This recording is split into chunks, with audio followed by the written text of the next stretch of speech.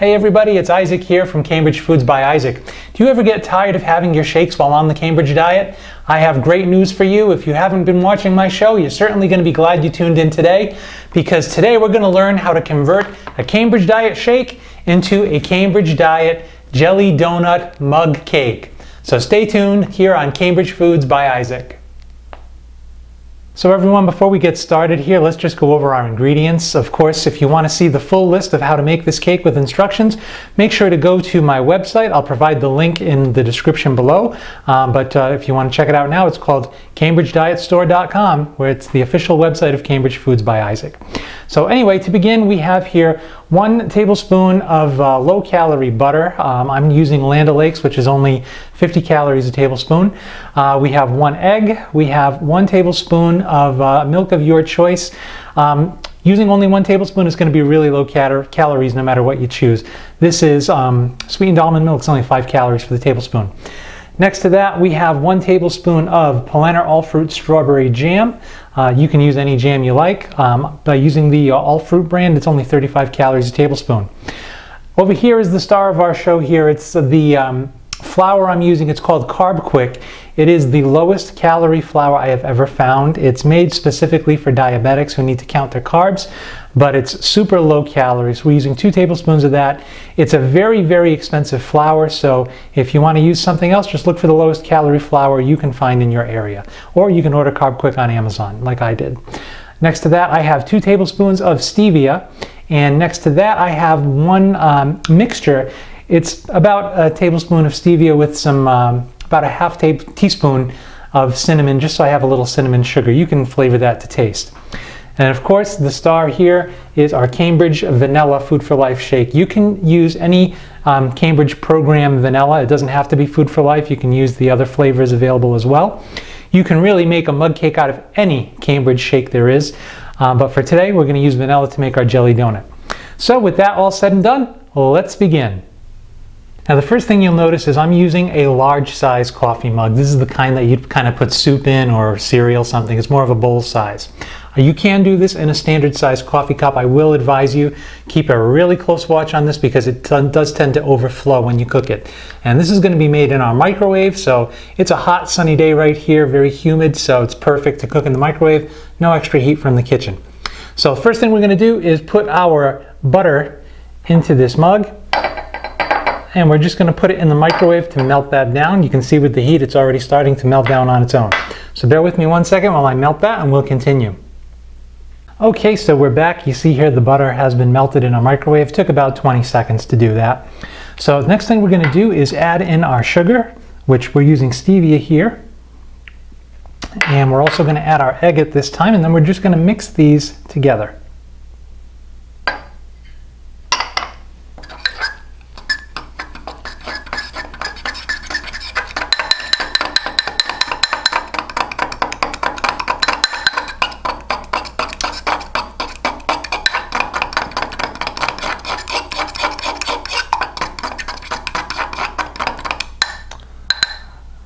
Okay, that's mixed pretty well. So now what we're going to do is add our uh, one serving of our Cambridge shake, and today I'm using vanilla, the uh, Food for Life vanilla. And oops, I need to get another scooper. I transferred my scooper to another bag. Hold on one moment. Okay, I have a scoop here. What happened was I have a friend who's interested in trying the program, so I put a, a uh, day's worth of shakes and uh, in a baggie and I gave them my scoop. So I just borrowed from another bag here. So here we go. That's one and two scoops we do with the Food for Life. Okay, close that off. And we're also going to add in our Carbquik flour at this time. And now we're going to mix this together. Um, it's always good to mix with a fork because you can kind of sift through things and uh, get in some tighter chunky areas and just try to go around the edges. It does splash around a little bit. Sometimes some flour can fly out and make a little bit of a mess. You want to make this doughy. And remember, we are going to add in some milk to this also to water it down. So if it seems too thick, don't worry about it. Just keep on going. You want to get it mostly blended before you add any other liquid. Can tell you it smells good already just adding that vanilla and the flour. Okay, let's add our milk. you want to have sort of a cake batter consistency here. And see, that's doing the job pretty well right there. Just keep mixing that in, nice and creamy.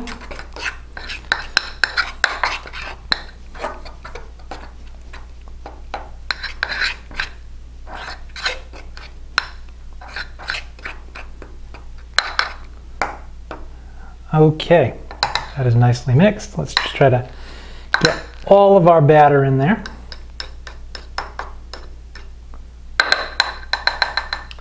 Okay, now what we want to do is try to make a little cave, if we can. If not, we're just going to dump this jam right in. I will just push it down into the center. That'll make our jelly center for our donut cake here. And you can try to scoop a little batter over it. It's still kind of thick and doughy, so we can kind of bury it.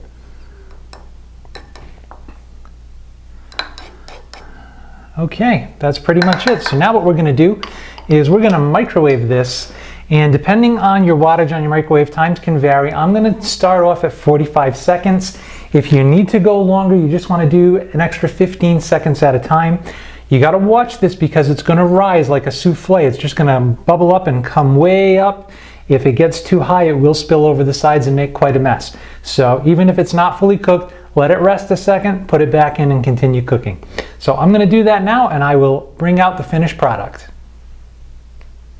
Okay guys, we're back and you see here that it's baked in the microwave. It's risen quite a bit. You can see I'm pushing down. We got a nice cake-like texture here. And we got kind of a little divot in the middle where we inserted our jam. So now for a finishing touch, I'm just going to take my teaspoon here and sprinkle a little of our cinnamon sugar on top to give it that donutty jelly donut uh, sugar sprinkle. Just rub that all around. This step's completely optional. If you don't want to do that, you don't have to. You can just have a nice vanilla cake. Okay, I'm going to dig in here just so we can find that jelly that cooked deep down. Where did you go, jelly?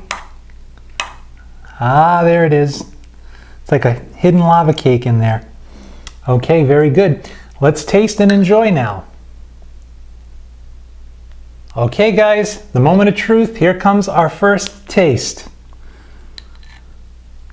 Dig in. Whoops, I just made a mess there, didn't I? Let's see.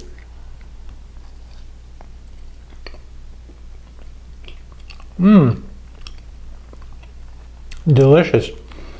I may need to put it in the microwave a little bit longer. We got kind of a pudding-like consistency here, but I want to taste some of that jelly. Let's see here. Mmm. Very good. This one's a keeper for sure. But I am going to put this in for a few more seconds, maybe another 30 seconds or so. Like I say, microwaves vary. And this is the first time I've done it in a big cup. I usually do it in smaller cups, but I wanted a big cup for the camera. So I'm going to cook this a little bit longer and I'm going to keep enjoying this. And again, I'll have the recipe posted uh, on my website, cambridgedietstore.com. I'll provide the link below. So thanks for watching, guys. Have a great day. Thanks for watching, guys. Be sure to click the subscribe button to learn more about the Cambridge program, the product reviews, or some great recipes.